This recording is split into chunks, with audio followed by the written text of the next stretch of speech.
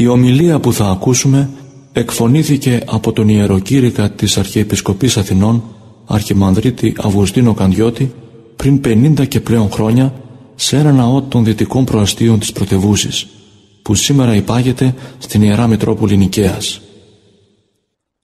Περιφερόταν δίσκος την ώρα της λατρείας και ο ομιλητής ζητάει να σταματήσει η περιφορά.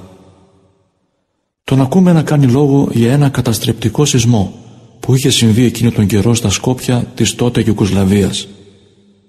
Όπως και σε άλλα κηρύγματά του, έτσι και εδώ καυτηριάζει τα άσεμνα αναγνώσματα. «Ρομάντζο» είναι ο τίτλος γνωστού κοσμικού περιοδικού. Από αυτό, γενικεύοντας την ονομασία, ονομάζει Ρομάντζα όλα τα παρόμοια. Είναι 11 Αυγούστου 1963 και η ομιλία γίνεται στο ναό της Κοιμήσεως της Θεοτόκου Χαϊδαρίου. Ο Σκαραμαγκάς που αναφέρει είναι κοντινό τοπονίμιο. Αδελφοί, περί καθάρματα του κόσμου εγεννήθημε, πάντο περίψημα έως άρτη. Όλοι αγαπητοί μου χριστιανοί, όλοι αγαπούμε τη δόξα. Όλοι χαιρόμεθα όταν ο κόσμος μας επενεί. Όλοι λυπούμεθα όταν ο κόσμος μας κατηγορεί. Όλοι προσέχουμε τι θα πει ο κόσμος. Αλλά άραγε τι είναι, είναι αυτός ο κόσμος; Και πρέπει να δίδουμε τόση σημασία σε αυτά τα οποία λέγει ο κόσμος; Έχει τόση αξία η κρίση του κόσμου; Σε αυτό το ερώτημα ή μάλλον σε αυτά τα ερωτήματα απαντά ο σημερινός Απόστολος. Θα σας παρακαλέσω να προσέξετε γιατί δεν οφειλούμεθα αγαπητοί μου να ερχόμεθα εδώ στην Εκκλησία να καθόμεθα μια ώρα όρθιοι χωρίς να καταλαβαίνουμε αυτά τα θεία νοήματα που περιέχει ο Απόστολος και το Ευαγγέλιο. Θα είμαι ευτυχής εάν θα μπορέσω αυτό το λόγο του Χριστού, αυτόν το λόγο των Αποστόλων να σας τον κάνω πολύ σαφή, να το εννοήσετε όλοι. Ότι ως περικαθάρματα του κόσμου γεννήθημεν, ως πάντων περίψημα έως άρτη. Ας υποθέσετε αγαπητοί ότι δεν ζούμε στο 1963 αλλά ότι ζούμε στην εποχή των Αποστόλων. Δηλαδή ότι ζούμε στο 50 μετά Χριστό. Ας υποθέσουμε ότι κάποιος από μας παίρνει το ραβδί του και αρχίζει να περιοδεύει τον κόσμο σαν ένας είδος τουρινού τουρίστα και να πηγαίνει στα μέρη εκείνα, στα κέντρα εκείνα που επεσκέφτησαν οι Απόστολοι. Ας υποθέσουμε λοιπόν ότι έρχεται στη Θεσσαλονίκη και από τη Θεσσαλονίκη έρχεται κάτω στην Αθήνα και από την Αθήνα πηγαίνει στην Κόρινθο και από την Κόρινθο πηγαίνει στα διάφορα μέρη και φτάνει μέχρι τη Ρώμη που ήταν η πρωτεύουσα της απεράντου Ρωμαϊκής Αυτοκρατορίας. Εάν αυτός πάει στις πλατείες και τους δρόμους, εάν τεντώσει το αυτί του αυτός που ζει στο 50 μετά Χριστόν και ακούσει τι ζητούν οι άνθρωποι και τι επενεί ο κόσμος, θα δει, θα ακούσει να γίνεται λόγος πολλής για διάφορα ονόματα της εποχής εκείνης. Θα ακούσει τον κόσμο της εποχής εκείνης να ομιλεί για πλούσιους που είχαν το χρυσάφι άφθονο και το ζυγίσανε με τη ζυγαριά. Θα ακούσει άλλους να επενούν, να κάνουν λόγο μεγάλο μέσα στη Ρώμη και, στην, και στις μεγάλες πόλεις για στρατηγούς που κατόρθωσαν να νικήσουν ισχυρά στρατεύματα και να εχμαλωτήσουν και να στείλουν εχμαλώτους θα, ακού, θα άκουε άλλους να μιλάνε για σοφούς και για ρήτορας που έκανε μεγάλη εντύπωση και είχαν πολλούς θαυμαστάς και παραπάνω και από ρήτορας και από φιλοσόφους και από πλουσίους και στρατηγούς και δυνατούς θα άκουε τον κόσμο εκείνο, το λαό εκείνο που κατοικούσαν στα πόλεις αυτάς να κάνουν λόγο μεγάλο να επενούν κάποιον, τον απενούν τον βασιλιά τους, τον αυτοκράτορά τους. Και όπου να παρουσιαζόταν ο αυτοκράτορας και ο βασιλιάς των να φώναζαν ζήτω, ζητοκραυγάζανε και όταν πήγαινε ο βασιλιάς ή στο θέατρο όλοι να σηκώνονται όρθιοι και να τον ζητοκραυγάζουνε και ακόμα όταν ο βασιλιάς αυτός έφυγε από τη Ρώμη και επεσχεύτηκε την Αθήνα και ήρθε στην Κόρινθο που ήταν μια μεγάλη πόλης τότε όλοι οι προγονείς μας το 50 ομιλώ βγήκαν όλοι εστίσανε αψίδες μεγάλες τεράστιες τους τρώσαν το δρόμο χαλιά και λουλούδια και τους στεφανώσανε με πόσα νομίζετε στεφάνια; Πόσα στεφάνια; Τους φτιάσανε πόσα; Χρυσά στεφάνια οι προγονείς μας το 50 μετά Χριστόν 1800 στεφάνια τον στεφανώσανε Μα ποιος ήταν αυτός, ήταν ένας βασιλιάς. Πολύ καλά. Μα τι βασιλιάς, έκανε τόσα καλά στον κόσμο. Έκανε τόσο καλό στον κόσμο, αγαπούσε το πτωχό λαό, ώστε όταν αυτός πηγαίνει στα θέατρα και στα στάδια να τον ζητοκραυγάζουν ο κόσμος και όταν ήρθε στην Ελλάδα να τον στεφανώσουν με 1800 χρυσά στεφάνια, τι έκανε αυτός. Τι έκανε, ήταν ένας από τους πιο αγριότερους βασιλιάς του κόσμου. Ήταν θηρίων εστεμένων, τέρας με στέμα επάνω στο κεφάλι, ήταν ο Νέρονας. Τον Έρωνα λοιπόν, μάλιστα τον Έρωνα, τιμούσαν και υπολείπτοντο και στεφανόνταν ο κόσμος και τους στείλαν το άγαλμα. Το άγαλμα αυτό, ναι, Λοιπόν τέτοια τιμή είχαν τότε στον βασιλέα και στον αυτοκράτορα, τέτοια τιμή έδινε ο κόσμος στους πλουσίους, στους στρατηγούς, τέτοια τιμή έδινε ο κόσμος στους δυνατούς και ισχυρούς και στους ρήτορα και φιλοσόφους, θα μου επιτρέψετε ακόμη να πω, τέτοια τιμή έδινε στις πόρνες τις μεγάλες που κατοικούσαν μες στην Κόρδο και στη Ρώμη, που είχαν χρυσά κουτάλια και πυρούνια και πιάτα πολυτελείας και εμάζευαν το χρυσάφι των ανοήτων πλουσίων. Τέτοια ήταν η τιμή που έδινε ο κόσμος σε κάτι άλλους αθλητάς που είχαν γερά μπράτσα και παλεύανε με τα λιοντάρια και σκοτώναν τα άγρια θηρία. Τους σηκώναν στα χέρια και το κρεβάζαν. Τέτοια τιμή. Τιμή στον αθλητή, τιμή στην πόρνη, τιμή στο πλούσιο, τιμή στο δυνατό, τιμή στο στρατηγό, τιμή στον ένα, τιμή στον άλλο, τιμή στον έρωνα. Με 1800 στεφάνια. Και στην ίδια εποχή που ο κόσμος έτσι με λουλούδια και με αψίδες και με τάπητας και με όλα τα αγαθά ετοιμούσε τους ανθρώπους που είχαν τη δόξα, την ομορφιά και τον πλούτο και τη δύναμη στην ίδια αυτή εποχή εζούσανε κάτι πτωχαδάκια. Ποιοι ήτανε; Οι Απόστολοι. Σε αυτή την εποχή ζούσανε. Αυτοί βέβαια δεν είχαν λεπτά. Αυτοί βέβαια στα πορτοφόλια τους δεν είχαν δεκάρα. Αυτοί βέβαια περπατούσαν ξυπόλοιτοι. Αυτοί βέβαια δεν είχαν στο κεφάλι τους θέματα. Αυτοί δεν κρεμούσαν στα... δεν είχαν σπαθιά. Αυτοί δεν είχαν τιμές και δόξες. Αυτοί ήταν τελείως άσημοι και άγνωστοι. Πώς συμπεριφέρθηκε ο κόσμος σε αυτούς τους 12 Αποστόλους; Παρόλη την πτώχεια τους είχαν κάποιο μεγαλείο. Κάποιο μεγαλείο μεγάλο γιατί όπως φορές καμιά φορά μες στη λάσπη υπάρχουν διαμάντια έτσι και μέσα στο πτωχό λαό υπάρχουν διαμάντια και εξαίρετοι χαρακτήρες; Έτσι λοιπόν και οι Απόστολοι αυτοί παρόλη την πτώχεια τους είχαν ένα μεγαλείο μεγάλο που δεν το είχε κανένας βασιλιάς, κανένας ρήτορας, κανένας φιλόσοφος. Αυτοί το μεγαλείο τους είχαν ότι εκηρύταν τον Χριστό και καλούσαν τον κόσμο σε μετάνοια και ότι αυτοί με τη δύναμη του Χριστού έβγαλαν δαιμόνια και ότι με τη δύναμη του Χριστού θεράπευαν τους αρρώστους και ότι έπαιρναν τον άνθρωπο που ήταν εκτήρος και τον έκαναν άγγελο. Ότι εκείνη ήταν την πίστη στον Χριστό τα λόγια του Χριστού. Και υπάρχει πιο μεγάλη ευεργεσία από αυτόν και ο κόσμος τι τους έκανε. Όταν πηγαίνα στην πολιτεία όταν ο Απόστολος Παύλος είδε στην Αθήνα όταν είδε στην Κόρινθο βγήκαν οι Κορίνθιοι και οι Αθηναίοι και τους στεφαν... αυτοί που στεφανώσαν έναν έρωνα με 1800 στεφάνια μπράβο τους. Βγήκαν οι Κορίνθιοι και οι Αθηναίοι και οι Θεσσαλονικιώτες και οι Αθηναίοι βγήκαν έξω να τον υποδεχθούν και να τον στρώσουν τάπητας και να τους ράνουν με κάνιστρα, λουλούδια και τριαντάφυλλα σαν τον έρωνα και τον στεφανώσανε κάθε άλλο. Για διαβάστε το βίο των Αποστόλων όπου, όπου απασήματα λέγει ο Απόστολος. Τι; Ότι λέει εμείς εγεννήθημε θέατρο και αγγέλης και ανθρώπης. Εμείς λέει δεν βρήκαμε πουθενά, δεν βρήκαμε στοργή και αγάπη. Δεν άνοιξε σπίτι ούτε μέσα στην Αθήνα, ούτε μέσα στην Κόρινθο, ούτε μέσα στα πλήσια πλούσια σπίτια. Δεν άνοιξαν τα σπίτια τους να τους δώσουν ένα μέρος να κοιμηθεί ο Απόστολος Παύλος. Δεν τους έδωσαν ένα κομμάτι ψωμί αυτοί που ταΐζαν τα σκυλιά τους και τους κυφίνας και τους παταπαράσιτα. Δεν τους δώσαν ένα πιάτο φαγητό να φάνε. Δεν τους δώσαν ένα κομμάτι ψωμί να φάνε. Δεν τους δώσαν ένα ποτήρι νερό να πιούνε. Και πεινούμε λέει και διψούμε. Δεν τους δώσαν ένα ρούχο να σκεπάσουν τη γύμνια τους αλλά περάσανε μέσα στη νύχτα, μέσα στα αυτά που περάσανε από λαγκάδια σε λαγκάδια και από βουνά σε βουνά και από πολιτείες σε πολιτείες. Αλλά πώς τους θερούσανε σαν κάτι σκυλιά ακάθρατα και ρινά Πώς τους θεωρούσανε, τους βρίζανε, τους χτυπούσανε, τους αρπάζανε, αρπάζανε πέτρες και τους πετροβολούσανε, τους κοροϊδεύανε, τους εμπέζανε, τους θεωρούσανε λέει πώς, όπως, όπως λέει ως περί καθάρματα του κόσμου γεννήθημε, όπως ακριβώς, όπως δεν υπάρχει πράσινα το πράγμα, όπως, όπως η νοικοκυρά παίρνει τα σκουπίδια και τα σκουπίδια δεν τα βάνει μέσα στο, μέσα στο παούλο της, τα σκουπίδια δεν τα βάνει πάνω στο τραπέζι της, αλλά τα παίρνει τα σκουπίδια, τα πετάει έξω, μέσα στα απορρίμματα, όπως λοιπόν σαν απορρίμματα, σαν μίξες, σαν ακαθαρσίες, έτσι λέει τους διώχνανε ως απορρίμματα, ως, περι, ως ακάθαρτα πράγματα τους διώχνανε και τους καταδιώκανε, έως το τελευταίος τους πιάσανε, τους δέσανε, τους ρίψανε στα μπουντρούμια μέσα, τους χτυπήσανε, τους φυλακίσανε, τους, τους καρφώσανε, τους ανασταυρώσανε, τους βάλανε στις φωτιές, τους βγάλανε τα μάτια, τα δόντια, τα ξεριζώσανε τα πάντα. Αυτή ήταν το τέλος των Αποστόλων. Και έπειτα, μα απορείτε, να λοιπόν τι είναι ο κόσμος.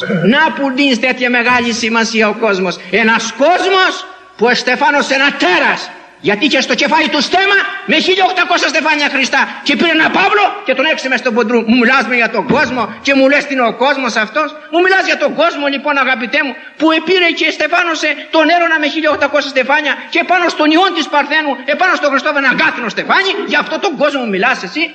Μα αυτό ακριβώς αδελφοί μου ως περικαθάρμα του κόσμου γεννήθημεν περίψουμε απάντων έως άρτη. Τα νιώσατε τα λόγια αυτά αγαπητοί μου; Αλλά και σήμερα αδελφοί μου αυτά τα λόγια που είπε ο Απόστολος Παύλος ότι οι άνθρωποι του Θεού θεωρούνται ως ακάθαρτα, ως περιφρονητέα, ως αμεληταία ποσότης μες στον κόσμο. Αυτά τα λόγια των Αποστόλων έχουν και σήμερα εφαρμοφομοργή. Για ρίξτε μια ματιά στον κόσμο. Ρίψτε μια ματιά μέσα στην κοινωνία, μέσα στη Βαβυλώνα αυτή και μέσα στη διαφορά και απιστία όπως ακριβώς την είπε ο Χριστός σήμερα την κοινά μας. Ρίψτε μια ματιά να δείτε ποιους τιμά και ποιους υπολείπεται ο κόσμος. Δεν διαφέρομαι αγαπητοί μου πολύ και από την εποχή των Αποστόλων. Για να σας πω μερικά παραδείγματα, μερικά στιγμιότυπα από αυτή την κατηραμένη, την άπιστο και διαφθαρμένη γενεά. Να δείτε ποιος τιμά ο κόσμος στα 1963. Είδαμε στο 50 ποιος τιμά ο κόσμος. Ας δούμε στο 1963 ποιος τιμά και υπολείπεται ο κόσμος. Βλέπεις σε μια γκαλίβα μέσα, δεν είναι παραμύθι. Σε μια γκαλίβα μέσα που στάζουν τα κεραμίδια κάθεται ένα κορίτσι που δεν κοιμάται τη νύχτα αλλά έχει τη βελόνα και ράβει στη μηχανή όλη νύχτα κάνει νυχτέρι ευλογημένο νυχτέρι για να αγοράσει το πρωί το γάλα και τα φάρμακα του πατέρα που είναι ανάπηρος ποιος δεσπότης, ποιος παπάς, ποιος βασιλιάς τους επισκέφτει αυτό το κορίτσι την ηρωίδα αυτή που άξιζε να τη στεφανώσουν και να τη βάλουν στο χαϊδάρι και κάτω στην πλατεία και να περάσει και ο βασιλιάς μπροστά της ποιος τίποτα είναι εκεί μέσα, περνάει μόνα τη τον εσταυρο... μόνα της το μαρτύριο και μόνο παρηγοριά έχει τον εσταυρωμένο και την Παναγία Θεοτόκο. Και τέτοια διαμάντια υπάρχουν μέσα στο Χαϊδάρι και μέσα στην πολιτεία τη διαφθαρμένη με τις πολυκατοικίες και με τις λεμουζίνες και με την αθλειότητα και την πορνεία τη μεγάλη. Αφενός λοιπόν μια τέτοια κόρη δεν της δίνει καμιά μια σημασία και ζει το μυστικό της μαρτύριο μέσα στην καλύβα και μέσα στην περιφρόνια. Και δεν γράφουν ποτέ οι εφημερίδες της εσχράς πλουτοκρατίας και της εσχράς κοινωνίας και της Βαβυλώνος. Δεν γράφουν ποτέ το όνομα τέτοιων κοριτσών που πεθαίνουν μέσα στις καλύβες για να ζήσουν τους γονείς των. Τίμια και ειλικρινά. Για δέτε την άλλη.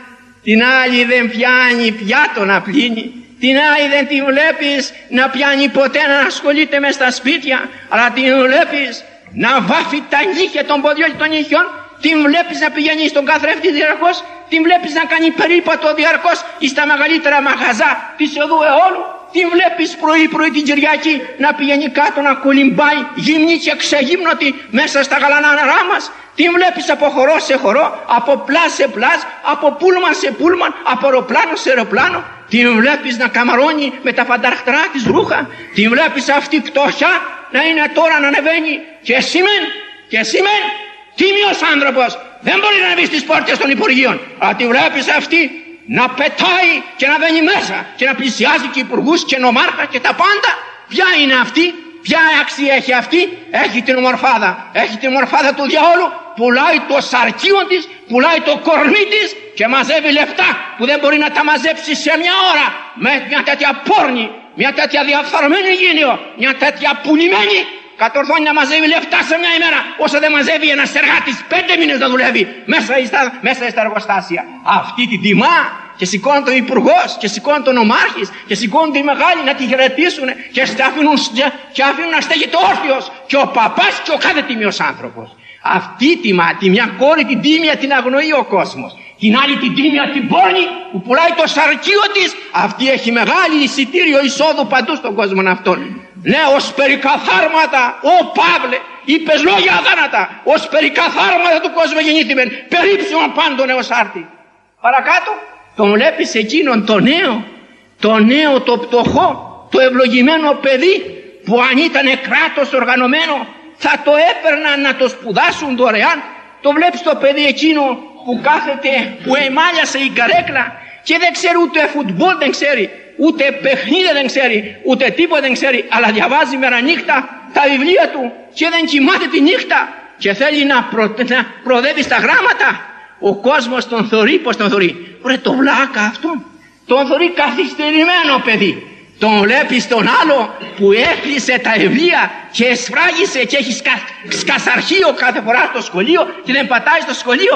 Τον βλέπεις, αυτός έχει μόνο μια ιδιότητα. Έχει μόνο μπράτσα, έχει μόνο παπόδια, να δίνει κλώτσες μέσα στο φουτμπολ και εκεί πλέον εκεί να γίνεται ήρωας μεγάλος που να γράφουν εφημερίδες, να δημοσιεύουν τους άθλους και τα ερωτικά του σκάνδαλα και να είναι έτοιμη η διαφαρμένη κοινωνία να τους στήσει και άγαλμα και να πουλάει τη φανέλα του με 100, με 200, με 500, με εκατομμύριο ακόμα και να εκμεταλλεύεται τα μπράτσα και τα γονατά.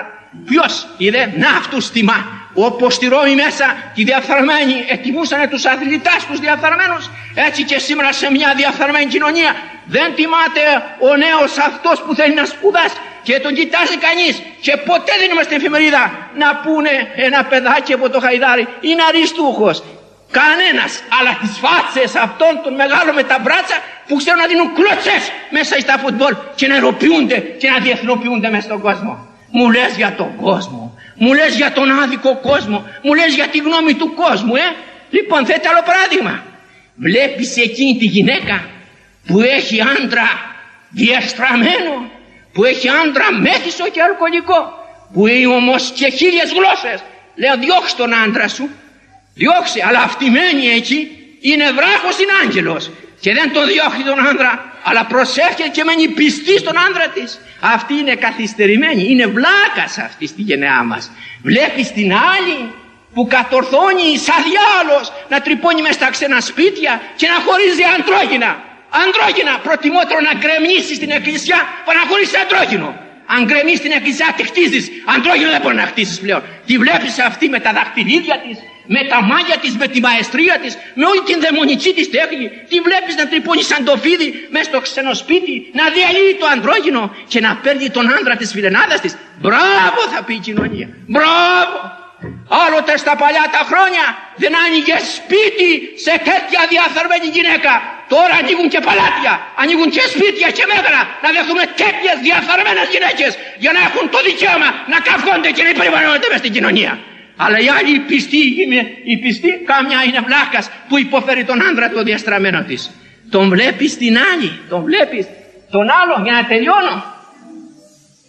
Είναι ένας στοχός υπάλληλος ένας ιδιωτικός υπάλληλος μέσα σε δημόσια καταστήματα ή μέσα σε εργοστάσια και έχει τριμμένο το παντελόνι του και μόλις βγάνει το καραβέλι του για να ζήσει αυτός η οικογένειά τους Α, αυτός είναι, δεν ξέρει να ζήσει σου λένε. Δεν ξέρει να ζήσει αυτός. Ενώ ο άλλος μάγκας, ένας άλλος τυποτένιος που δεν έχει το ένα εκατοστόν της ικανότητας και του τον βλέπεις με απαταιωνίες, με πλαστογραφίες, με κολακίες, με ατιμίες, να τον βλέπεις από εκεί που ήταν επάμπτωχος και ανόητος, να τον βλέπεις να έχει τώρα και λεμουζίνα και να έχει και σπίτι και να κουραδεύει τους πάντας και τα πάντα. Έξυπνος άνθρωπος αυτός. Του δίνει ο κόσμος το παράσημο της εξυπνάδας. Βλέπετε λοιπόν, αχ κόσμε, κόσμε, τι άδικες ζυγαριές έχεις. Τα κάρβουνα τα κάνεις διαμάντια και τα διαμάντια τα κάνεις κάρβουνα για να, για να εφαρμόζεται πάντοτε ότι ως περίψημα, ως περικαθάρματα του κόσμου γεννήθημε, ως περίψημα. Διαμάντια ήταν ο Πέτρος, διαμάντα είναι τον Απόστολο και τους δρούσαν για κάρβουνα, για τίποτα σκουπίδια πρέπει να τους πετάξουν έξω από την κοινωνία και έξω από τη ζωή, τη συμβίωση. Ναι αδερφοί, να προχωρήσω ακόμα. Εάν, ένα τελευταίο, εάν σε δούνε με τη γυναίκα σου και με το παιδάκι, με το παιδάκι, το βυζιανάρικο. Αν σε δουν και πας στον κινηματογράφο και βλέπεις εκείνα που έπρεπε να κλείσεις τα μάτια. Μα είναι ευτυχισμένοι αυτοί που δεν έχουν μάτια. Να πας μέσα σε τέτοια πορνεία. Προτιμότερο να μπει σε ένα πορνείο παρά να μπει σε ένα κινηματογράφο. Να βλέπεις πόρνες. Πόρνες διάσημες. Διεθνείς πόρνες. Να ξεγυμνώνονται μπροστά στα μάτια. Και όταν σε δουν να βγαίνεις από τον κινηματογράφο Καλέ ξέρεις πήγαμε σηματογράφο με τον άντρα με τα παιδιά μας. Η εξελιγμένη οικογένεια, σπουδαία οικογένεια. Εάν όμως, εάν όμως σε δει, σε δει ο γειτονά σου να σηκώνεστε πρωί πρωί μπονόρε προτού να βγει ο ήλιος και να ακούς την καμπανάκια στο χαϊδάρι και να πεις άντρα πάμε στην εκκλησία, παιδιά πάμε στην εκκλησία, να πάμε όλοι στην εκκλησία. Η γειτόνισσα θα γελάσει η μοντέρνα. Για κοίταξε την στον 20ο αιώνα, στον 20ο αιώνα που πετάνε διαστημόπλια και πυράβλους επάνω στα ύψη των Για κοίταξε εκεί να κάθεται σαν χωριάτισα, να πηγαίνει στην εκκλησία και να ακούει παπάδες χειροκήρυκας, σε θεωρεί βλάκα και καθυστερημένο. Κι αν ακόμα στη γενεά μας για κάνετε κάποια απόπερα, τον βλέπεις μπαίνει μέσα στο πούλμαν, τον βλέπεις μπαίνει στο αεροπλάνο, τον βλέπεις μπαίνει μέσα στο σιδηρόδρομο και κρατάει τα φιγουρίνια και κρατάει τα ρομάντζα και κρατάει τα εσκρά και διαβάζει και το θαμάζει. Για τόλμησε, τόλμησε μέσα στο πούλμαν και μέσα στο σιδηρόδρομο, τόλμησε να ανοίξει τη σύνοψη, τόλμησε να ανοίξει το Ευαγγέλιο, το Ευαγγέλιο και θα δεις τότε με τιμιδιάματα θα σε υποδεχθεί ο κόσμος. Άμα σε δει, άμα δουν κανένα νέο να κρατάει Ευαγγέλιο και να διαβάζει Ευαγγέλιο, τρελάθηκε σου λέει αυτός. Και είναι πια πρέπει να τον κλείσουν στο τρολοκομείο οι συγγενείς και οι φίλοι του. Τέτοιος κόσμος είναι. Γι' αυτό το συμπέρασμα. Ποιο συμπέρασμα; Σας απήντησα. Σας απήντησα αδελφοί μου. Αλίμονο αν ακούς τέτοιο κόσμο θα πας στην κόλαση. Όχι, όχι. Ένας κόσμος ένας κόσμος Καϊάφα και Άννα. Ένας κόσμος πλουσίων διαφέρμένων. Ένας κόσμος ανικάνων και φαύλων ανθρώπων. Ένας κόσμος έδωσε στεφάνια αγκάθινο στον Ιησούν των Αζωραίων. Ένας κόσμος τέτοιος επότισε με όξος και χωνήν. Ένας τέτοιος κόσμος εκάρπωσε και σταύρωσε και διεμέλησε και έκαυσε και πυρπόλησε και διασκόρπισε τα οστά των Αγίων. Ένας τέτοιος κόσμος δεν έχει καμιά αξία. Δεν έχει καμιά αξία όση αξία τουλάχιστον για μένα. Όση αξία έχει ένα κουρέλι βρωμερό. Ένα κουρέλι βρωμερό. Έχει ο κόσμος αυτός. Δεν έχω ανάγκη να επενούν οι βασιλιάδες του κόσμου. Δεν έχω ανάγκη να επενούν οι πόρνοι. Δεν έχω ανάγκη να επενούν οι μεγιστάνες του κόσμου. Έχω μια παραπάνω απ' όλα έχω τη γνώμη του Χριστού. Ναι αδερφοί μου μακάρι να μην δώσετε καμιά σημασία. Πού φτάσαμε ξέρετε πού φτάσαμε; Το καταλάβατε; Το καταλάβατε; Δεν το καταλάβατε μες στις χίλιες γυναίκες μια θα μείνει τίμια. Μες στους δέκα χιλιάδες νέους ένας θα μείνει τίμιος. Και μες στους χιλιάδες εργάτες ένας θα μείνει με τον Χριστό. Έρχονται χρόνια φοβερά. Θα σύσει ο διάβολος την γη ολόκληρον. Θα διάσουν οι εκκλησίες θα γεμίσουν τα μαντριά του διαόλου. Οι κινηματογράφοι και τα κέντρα της διαφθοράς στόμεν καλός στόμεν με τα φόβου. Να σταθούμε στα πόδια μας να σταθούμε στην ορθοδοξία μας στα ήθη μας βουλώστε τα αυτιά σας γυναίκες! Βουλώστε τα αυτιά σας! Στα ταλούγια του σατανά! Παιδιά όλοι μας κοντά στο Χριστό! Καμιά σημασία να μην έχει ο κόσμος αυτός. Γιατί είπε, είπε είναι γενιά αν ερχόταν ο Χριστός στον κόσμο. Ακούστε το Ευαγγέλιο. Γενιά πονηρά και διαστραμμένη έως πότε σε θυμών ε, έννοια σου. Έννοια σου τέτοιος κόσμος που τιμάει τις πόρνες. Τέτοιος κόσμος που στείνει αγάλματα. Τέτοιος κόσμος μια νύχτα στα Σκόπια γλεντοκοπούσαν στα σκόνια. Είχαν μαζευτεί 300 πόρνες μέσα στα μεγάλα διεθνείς από την Ελβετία, την Γαλλία και χορεύανε μέσα στα μεγάλα ξενοδοχεία. Αλλά την ώρα που χορεύανε και βγάλαν τα μάτια μέσα στα ξενοδοχεία, τα μεγάλα της Σκόπιας, σεισμός. Λίγα δευτερόλεπτα, τα πάντα τάφος. Και εδώ θα γίνει σεισμός. Θα σύσει ο Θεός και το χαϊδάρι και το σκάβανανάγκα και τα παλάτια και τα δικαστήρια και τους στρατώνας. Γιατί αμαρτήσαμε διότι μαρτήσαμε, διότι μαρτήσαμε. Ας πέσουμε στα γόνατα, ας παρακαλέσουμε την Παναγιά και τους Αγίους να μας κάνει έλεος ο Θεός εν ονόματι Χριστού, ο το κράτος και το έλεος σε αιώνα σε όλων. Αμήν.